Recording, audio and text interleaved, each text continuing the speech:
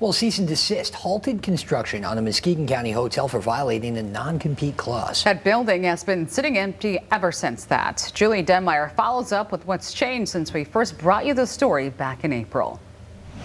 Fruitport Township created a blight ordinance with one goal to rid the giant eyesore near the Lakes Mall. Now, six months later, no changes. Under lock and key sits a property owned by a Metro Detroit man, a man Fruitport Township officials can't get a hold of. They say Malik Abdul Noor started this project and never finished. Now he won't return the township's phone calls, directing them to his attorney. And for obvious reasons, businesses near these abandoned hotels say enough is enough. I mean, for, for a myriad of reasons. I mean, primarily, we work so hard to, to bring a nice physical presence and image here in Norton Shores, um, you know, and, and work with the township to make sure that we're maintaining those rules and those, those nice appearances. And then that's right across the street.